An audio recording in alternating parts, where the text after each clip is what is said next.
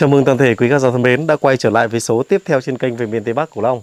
Hiện tại thì Long đang có mặt tại một cái cổng của ngôi làng các bạn ạ. Các bạn nhìn thấy hùng vĩ chưa?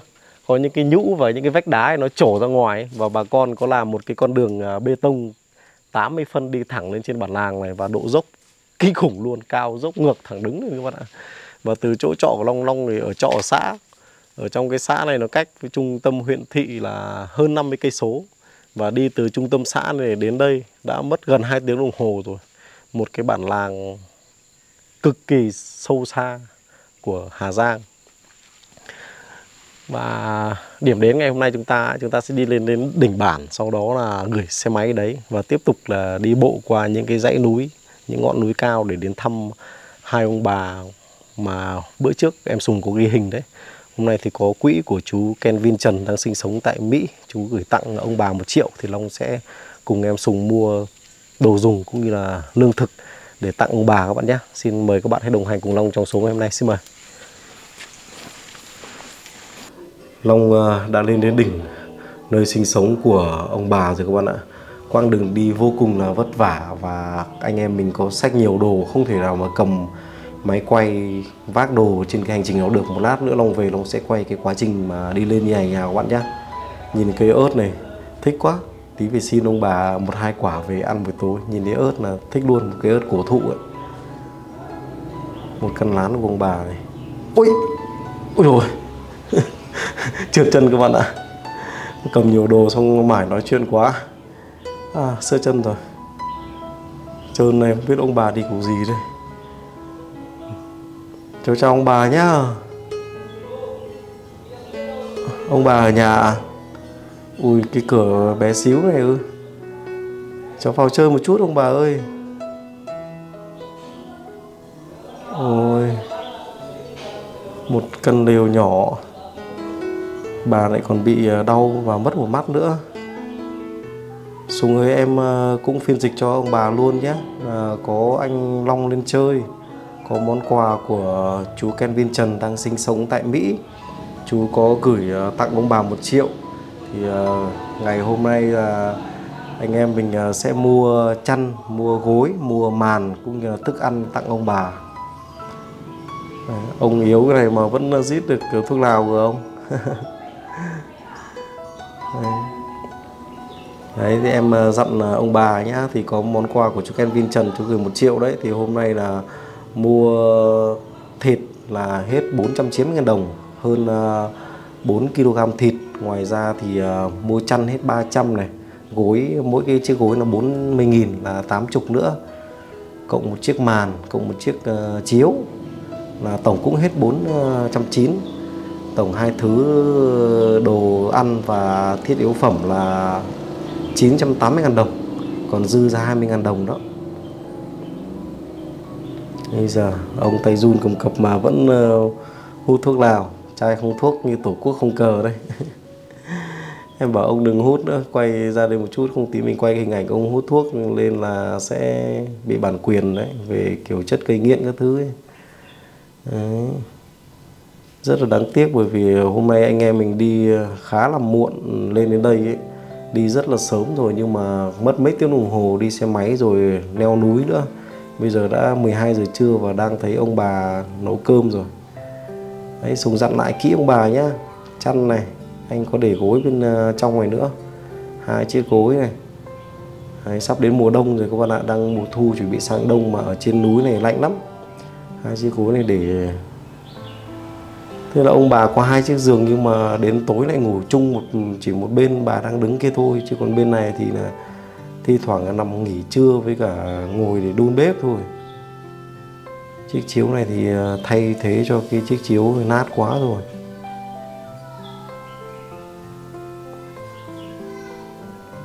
Bên trong này là một chiếc chăn bông, ngoài ra còn ờ, một chiếc màn.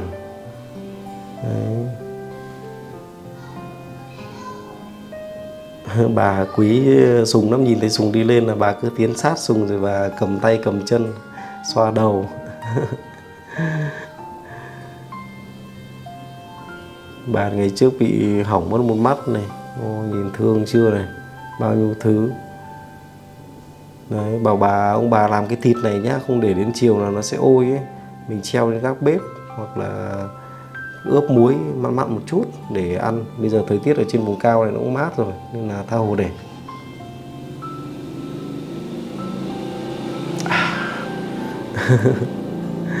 bà thì ờ, tai không được thính lắm đâu, các bạn ạ. Nói chuyện ông nói hay dùng nói là cứ phải đưa miệng sát vào tai của bà nói chuyện, bà mới nghe thấy. Khổ mắt thì ờ, bị mất một mắt xong là lại tai nữa. Đâu xem ông bà nấu món gì nào. Đây là cái mèn mén các bạn ạ, mà cháo ờ, cháo ngô đấy. Long giải thích một chút, nhiều các bạn không biết là cái mèn mén như nào ấy. Mèn mén thì nó là cái ngô vàng đấy các bạn sau đó đồ cách thủy, còn đây thì ông bà nấu thành kiểu như là cháo ngô rồi. Ông ấy yếu lắm, các bạn ạ. Tay run cầm cập rồi, vừa cầm cái điếu thuốc lào nhưng mà rít thì chả được hơi nào. Tay run cầm cập mà đang bị đau bụng hay sao ấy. Các bạn nhìn thấy bà đang nhấn bụng cho ông này. Còn bà thì bị hỏng một mắt, xong là tai lại bị kiểu lửng nữa. Phải dí sát ờ, miệng và tai nói mới nghe thấy, bị trột mất một mắt rồi, bà.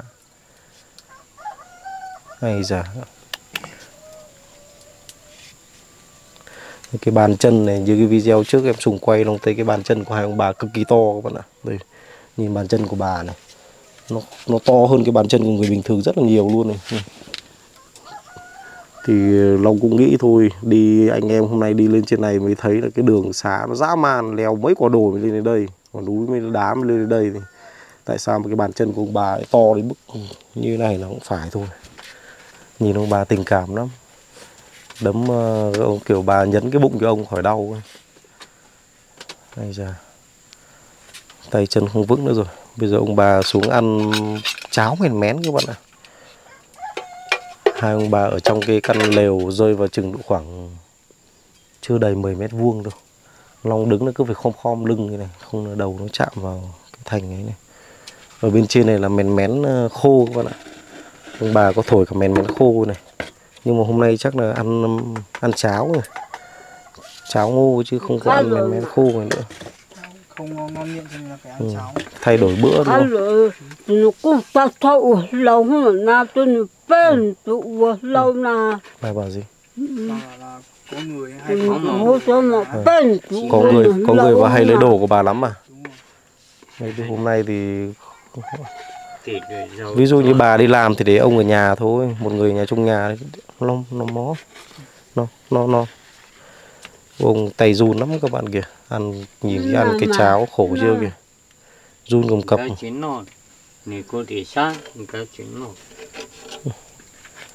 Đây cái ghế này, Long thấy ông đóng được cái ghế sao đây?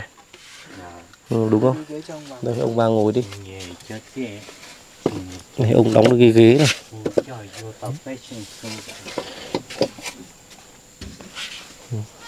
Ừ, ờ, khổ ờ, như video trước thì các bạn ờ, xem các bạn biết rồi đấy ông bà thì có sinh được một cô con gái nhưng mà lấy chồng ở bên kia thì chồng kiểu rượu chè say xỉn xong đánh đập cho suốt ngày ấy.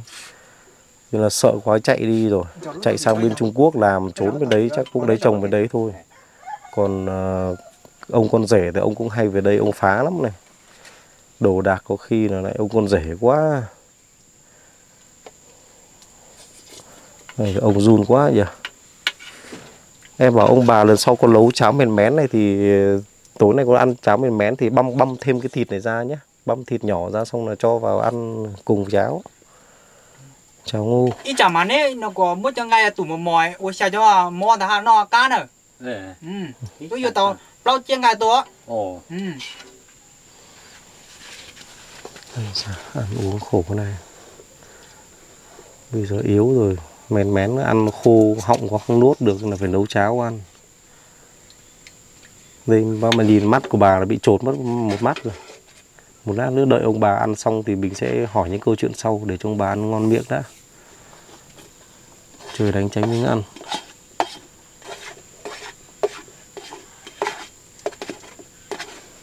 như cháu hôm nay cháu có mua thịt thì như cháu nói đấy, thì cái thịt này hết ờ, hơn 4 cân này, hết 490 này. Cái chăn này 300 ngàn đồng này, hai chiếc gối, mỗi chiếc gối 40 ngàn đồng. Chiếc ờ, chiếu 50 ngàn đồng nữa, là cũng hết 490 490 cộng với 490 là bằng ờ, 980 nghìn. Có mỗi một chiếc bát thôi các bạn ạ. Ở trên này cũng có mấy cái nhưng mà thấy đựng muối rồi này, một cái bát nữa nhưng mà đựng muối. Thì thấy hai ông bà ăn chung một cái bát các bạn ạ. Bình thường ở đây thì đa phần họ ăn bằng cái thìa to này xong ăn chung vào cái nồi thì mỗi mỗi người dùng một cái thìa xong múc ăn, đưa vào miệng thôi. Mà ông đau bụng quá thì ăn được một tí cho nên đưa bát cho bà để bà ăn. Nóng. Là sống cả đời lao động rồi, bây giờ sợ nhất là cái tuổi già như này các bạn ạ. Nghĩ cái viễn cảnh sau này mà mình già mà như này nữa thì đúng là quá khổ thì không còn cái gì khổ nữa.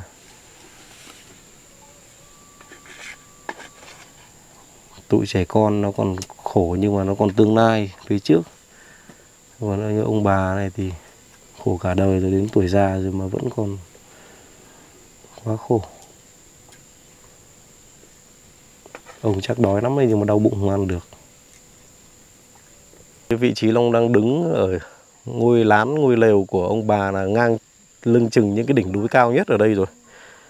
Cao kinh khủng luôn các bạn ạ những cái đỉnh núi cao nhất thì chúng ta đang đứng ở đó rồi, và bốn bề xung quanh là núi non hùng vĩ, phía xa xa có những cái bản làng nhỏ nhỏ nằm treo leo chót vót. Nhưng mà ông bà sống ở đây là cao nhất rồi. Căn nhà của ông bà, cái lều của ông bà dã man quá. Sập sệ đúng là đây không đâu đâu gọi là cái nhà đâu các bạn. Nó chỉ là một cái lều nhỏ thôi, và bốn bề xung quanh đủ mọi thứ vào. Vây từ cái chiếu cũ cho đến cái bạt mục nát hết cây đu đủ tốt nhỉ? Này nhìn cây đu đủ quả to chưa kìa? Ông bà chắc là cũng là một cái lương thực cần thiết lắm ấy. Đây cái nhà cái cái lều long dơ hai tay này gần như hết cái chiều dài của căn nhà rồi đúng bốn bề xung quanh tức là có một cái vật gì mà có thể che đậy được là ông bà đều đem ra để che này. Những cái mẹt hỏng các thứ này. Những cái tấm uh, ly lông cũ này, để trăng lên cho khỏi gió cái mái nhà thì một tí là bạt một tí là danh. Ôi, ôi sợ quá nhà cửa. Đi lên trên này mới thấy là cái cái lều đã võng hết xuống dưới rồi. Chắc trước ngày ông còn chưa yếu ông còn vác được cái ít gỗ ông chèn lên trên để cho gió nó khỏi tốc ấy. Mà chịu thương chịu khó quá ấy các bạn này. Nhìn củi này rất nhiều củi này không biết lấy nhiều như này về đun trả hết này người ta lại vác mất đi thì khổ tội ra này phải đến 20 bó củi to ở đây này bây giờ cái bà chính tỏ bà mắt ờ, kém tay kém nhưng mà bà khỏe nhờ vẫn vác được những bó, bó củi rất là to các bạn này Long thử lên ông nhấc cái bó củi này có khi là nặng này, bởi vì củi tươi mà. Nè, nó rơi vào khoảng 20 cân đấy các bạn ạ. Chứ không không có nhẹ đâu để đi đường rừng này không nhẹ đâu. Bốn bề xung quanh được rào và cẩn thận nhé. Nhìn như kiểu một cái đúng là một túp lều tranh hai trái tim vàng là như này đấy. Bốn bề xung quanh núi non hùng vĩ quá đẹp luôn. Hôm nay Long quên không mang cái thiết bị trên cao chứ nếu mà có thiết bị trên cao mà mà quay từ trên cao xuống thì thiên nhiên hùng vĩ lắm Đấy, anh em đi xung quanh nhà ông bà chơi một chút cho ông bà ăn cơm cho ngon miệng không có người lạ ở đấy xong là mình cầm máy quay mình quay vào người vào mặt ông bà thì ông bà cũng mất tự nhiên đấy đây chắc nương cũng nương ngô của bà hả? Trồng được ít này không biết là đến gió nó có quật ngã xuống không? Ông bà vừa ăn uh, cháo mèn mén xong các bạn ạ. Hai anh em đi uh, quay xung quanh này cảnh. Nhìn ông bà lấy được củi nhiều như thế. Em thử hỏi xem là cái củi đấy là bà vác hay là bà ông vác mà khỏe vậy lấy được nhiều thế? Giờ cho tao nó bỏ xe là có xe? Có cho nếu cho tao sao? Bỏ xe là có xe Ừ. Ừ. Gió y nhẹ này. Ê, bỏ xe cho tao sao mà? Hả? Sau đó lại bà bà là bà lấy bà lấy bà giờ ông mắc thì cũng kén ông ông yếu À. lắm rồi tay chân run hết rồi này các bạn này run rẩy hết rồi cái bàn chân bàn tay thì bình thường bàn chân to dã man luôn. Bàn chân của bà còn to hơn cả chân của ông. Này.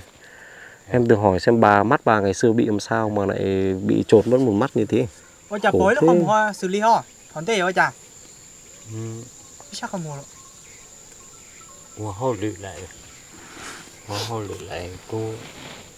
Nó không muốn chỉ bỏ cái cú bự ấy chia thằng đây nó qua bỏ giờ bỏ sắc không muốn xử lý họ này nhiều thế bỏ này ông à, không hiểu à, à, em hỏi. Tức là em hỏi đơn giản thôi là mắt bà bị làm sao? Bỏ giờ có sắc không muốn đâu giờ nè. Bỏ. Ừ, bỏ sắc không muốn tao ôi giờ chỉ bỏ cái xử lý là. Tao này hỏi xa quá hình như là ông không à, không nghe thấy á. Ừ. em đứng gần với đây để hỏi hỏi ông bà một chút. con ngắm có kỳ chứ về cái mắt bà bị trốn một bên ấy ý long là muốn hỏi là mắt bà làm sao bị mất một bên như thế xin lo Ừ. Ôi giờ thằng đây ừ, ừ, nó có nếu nó sắc không muốn chỉ bỏ cái xử lý họ giờ bị chả chỉ bỏ cái hết mà em nếu sắc không muốn chả xử lý đau. Hả? Tao đau. Tao đau rồi. Ê, ôi chỉ nè. ôi chỉ giật liệt đó Ừ. Tao đau thôi. Ừ, ngày trước là bị đau bị đau xong nó không, không khám chữa nó tự hỏng à đúng rồi mó mó ấy Ừ, nó đau xong rồi bị lâu chưa lâu lại không một chỉ bỏ cái lại nè. Ê, nó còn bông um, silicon gió là tao Trong này tôi vỡ đau tôi tôi. Ừ, em gió lò tao Ừ. do luôn tao tao xong là tao mua xa chỗ chưa xong luôn à, lâu lắm rồi anh ạ ừ. ừ, mấy chục năm rồi từ Ừ. cái hồi còn trẻ ấy. Ừ. Tôi nên tha và ừ, tôi nên tha lại tôi nên tha lại nữa nè. định ngồi trong nhà cho đỡ nắng ông bà ngồi trong đấy nghỉ ngơi nhưng mà long với em sùng đang đi ngoài này thì ông bà ra đây luôn các bạn ạ. Ông bà ra tìm hai anh em thì ngồi đây nói chuyện luôn. Khổ thế nhỉ. Thì con gái bây giờ có liên lạc được không? Hay mất tích luôn rồi. à Sai bố hô tao cái hả nè còn nồng tao nồng mông tao thì tao chỉ tao cái là Hả? không được anh ạ mất tích luôn rồi. lạc. ừ. có khi sang Trung Quốc chẳng biết sống hay mất hay là lấy chồng bên đấy rồi hay như nào nữa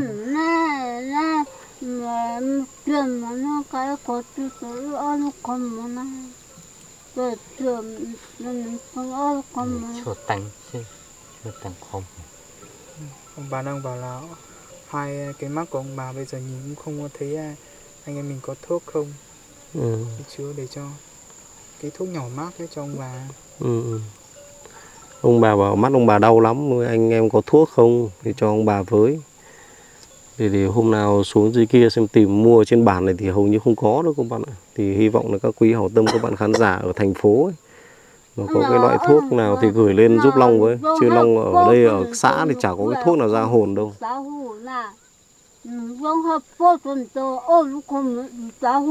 Ông này còn đau bụng nữa.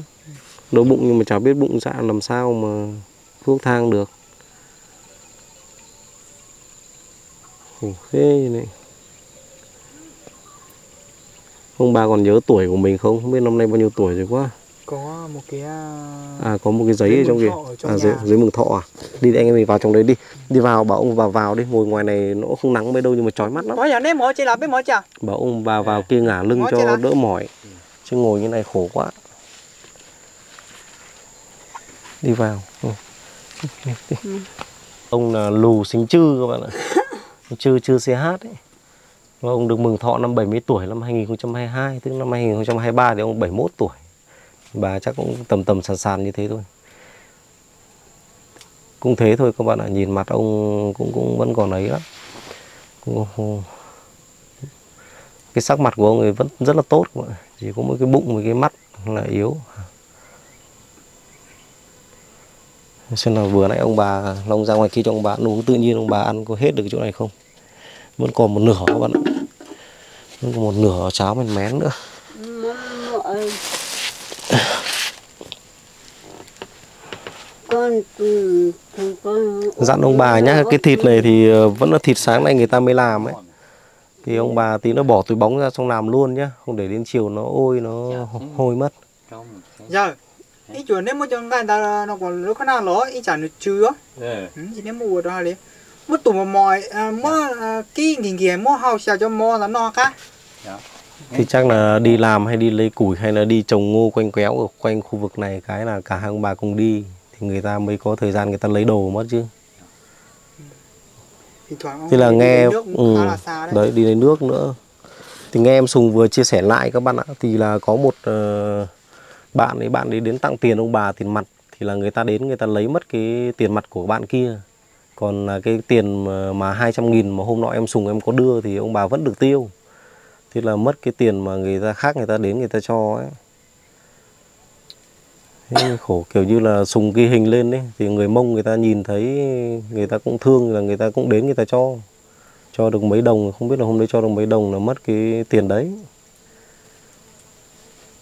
Thì hôm đấy có bạn người mông, bạn cũng có điện cho sùng là hỏi thăm ông bà ở đâu để lên thăm ông bà mà, thì là mất cái tiền đấy đấy. Nên là cái chăn, cái gối này thì ông bà cũng cần, cũng đắp đắp thì chắc người ta cũng không lấy cái chăn, cái gối đâu, chỉ có tiền thôi. Thì những lần sau thì vẫn theo ờ, từ tiêu chí của kênh thì các bạn Đăng Long đến thăm trẻ nhỏ với người già thì ít khi mình đưa tiền mặt lắm. Trừ trường hợp là ví dụ như là lần đầu đến thăm mà mình không biết là trường hợp đó thiếu những cái gì các bạn. Thì bắt buộc là phải gửi tiền mặt để cho những cái trường hợp hoàn cảnh của các ông bà lớn tuổi với các cháu nhỏ là sẽ đi mua đồ. Còn những lần sau thăm là mình lên thăm một lần thì mình biết thiếu những gì rồi. Thì là mình sẽ chủ động mình mua hết chứ không có trao tiền mặt nữa. Thì chắc là lên thăm ông bà một tí thôi, buổi trưa này để cho ông bà nghỉ ngơi một tí nhỉ. Thì dặn ông bà như thế, xong là anh em mình cũng xin phép thôi. Đấy. bà nhìn thấy sùng bà quý, bà ôm ấp. bảo ông bà đi xong là chào ông bà thôi. Bảo ông bà làm cái thịt này đi. Nên bảo nhớ này anh chỉ nếu mà năm nay uống thì mùi chê đó con về nhá. À? Ông bà giữ gìn sức khỏe nhá. Đấy nhá. Nem mà ờ giữ gìn sức khỏe nhá. Ừ, đây chăn ờ, với cả thịt với cả màn. À. con đi về đây cho ông bà nghỉ. À. Bà bà vất vả đến đây mà không được à, bà bảo vất vả quá mà lên đây không được miếng cơm nào à thôi con vừa ăn sáng ở nhà rồi bây giờ đến trưa rồi đi về giờ về nhà tầm khoảng 4 giờ.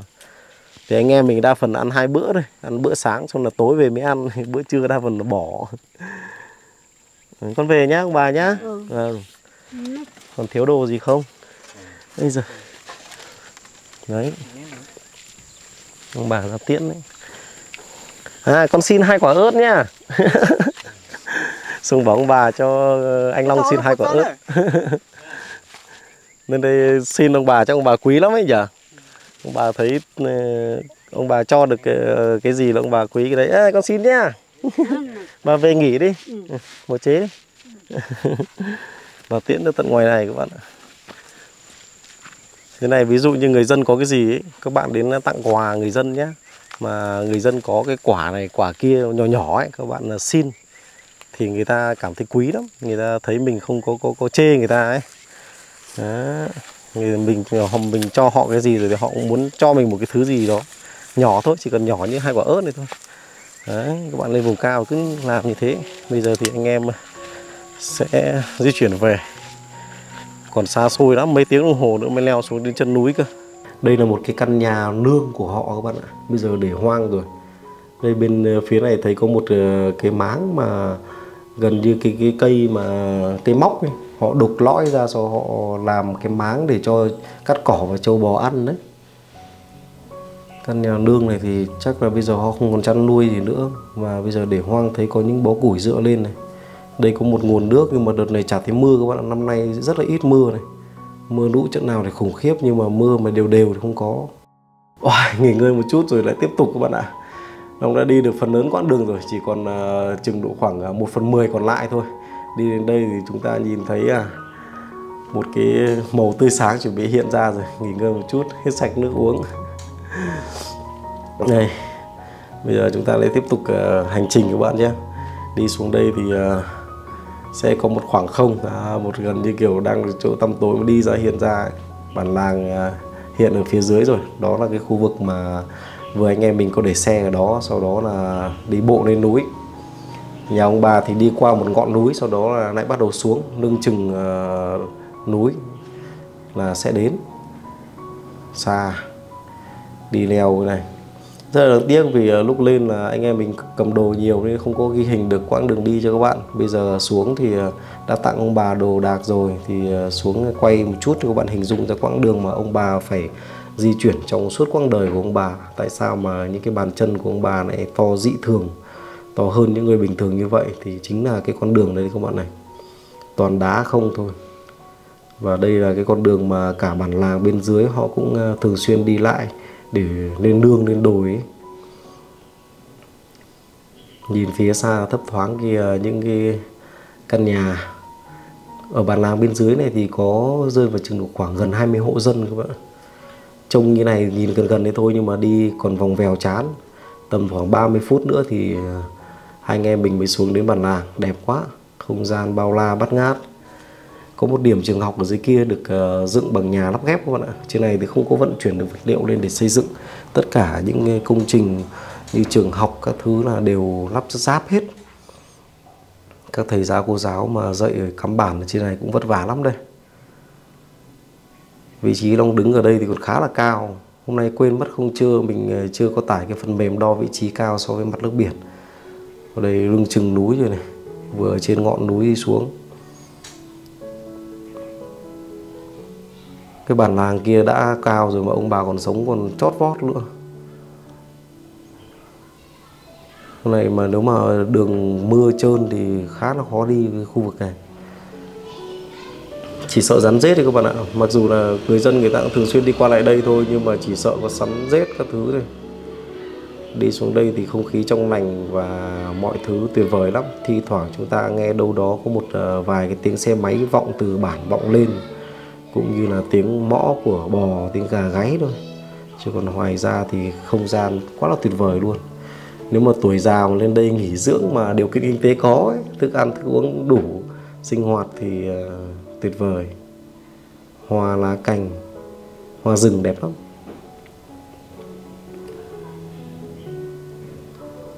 Bây giờ thì anh em cứ túc tắc đi thôi. Nhìn lòng vòng lắm trông như này thôi nhưng mà nó kiểu đường zig zag đường uh, chữ Z ấy cứ vòng vòng theo chân núi. Đi khoảng uh, gần 30 phút nữa là sẽ xuống đến ờ, khu vực uh, bản làng mà gia đình uh, hai anh em gửi xe máy ở đó. Bây giờ ông bà già yếu rồi không biết là đi lại kiểu gì mà mua được đồ đạc các thứ nữa cơ. Khổ quá khổ rồi. Đấy quá đẹp các bạn. Một cái bức tranh ờ, như kiểu ờ, vẽ ra ấy. những ngọn núi chập trùng này. Đẹp thực sự luôn. Dốc treo leo chót vót này. Những cái núi mòn này đi lại. Nếu như cái núi mòn này chỉ khoảng một, hai tháng mà không đi lại thôi cỏ mọc các thứ là um tùm hết rồi. Chứng tỏ con đường này là người dân, người ta đi lại cũng khá là nhiều, lên đường lên dãy, chăn nuôi trên đó nữa. Đi để tập thể dục luôn ha. Hai cái vách đá đẹp chưa? Đấy, đi chen qua.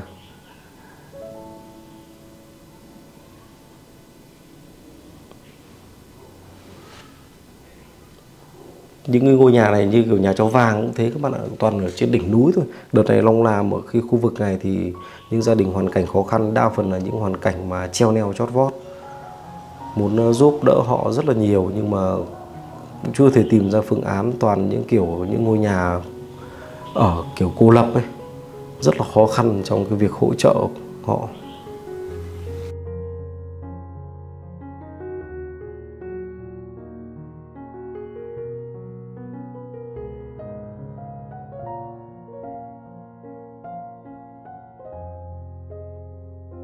Long đã đến bản rồi các bạn ạ.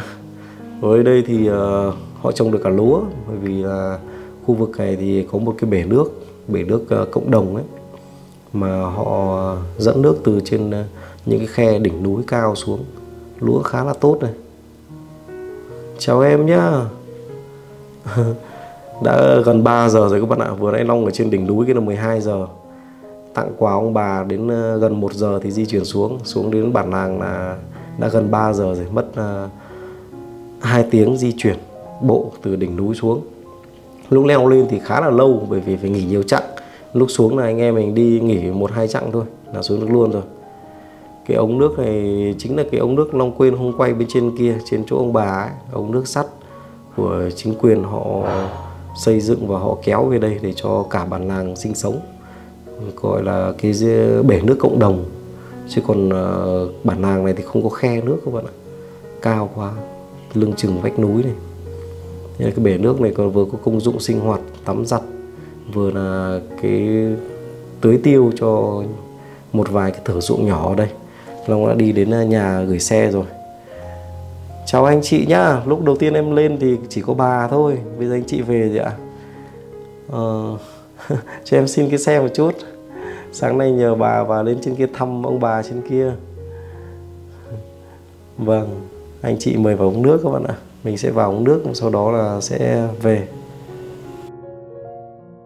Long ờ, vừa ở nhà anh ờ, gửi xe nhờ đấy Mình ờ, xin cái xe.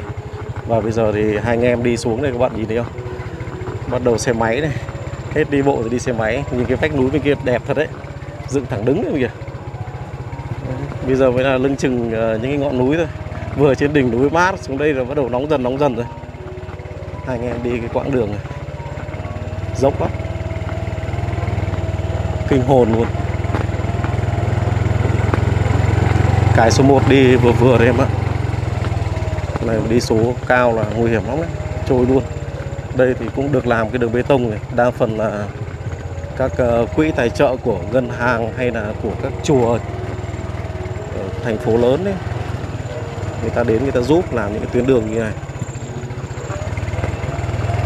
Như cái đoạn khúc cua tay áo dốc thẳng đứng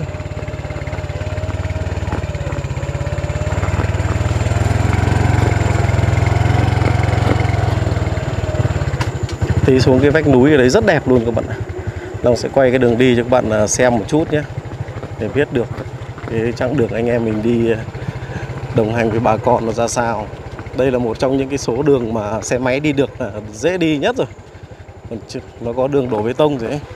còn có nhiều cái đường cấp phối đi sóc lóc sọc lên cơ. Đối với anh em mình, cái đường này là quá dễ đi đấy. Nó chỉ hơi dốc một chút thôi. À, đi đến đây thì đấy. Nhìn này ở trên cao nhũ nó nhũ xuống kìa cái vách đá này. Đi qua đây mà cảm tưởng những cái nhũ mà nó rơi vào đầu thì rồi thôi rồi luôn đẹp lắm. Đẹp nhỉ? Đấy. Hùng vĩ lắm.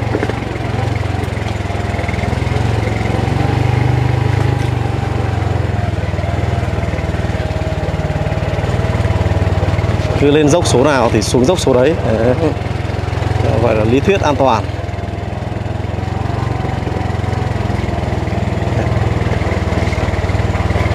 Đi qua này, xẻ cái đường xẻ dưới ngay dưới chân núi này.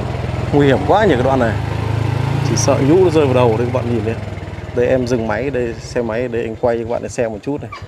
Đi xuống xe máy này. Đây, em cứ đi dần đằng sau này. Anh đi trước này. Đây gần như cái đường đi hang động, xuống đi trước, xuống dưới đi. Dốc lắm. Đi xe lúc nào cũng đỏ rực.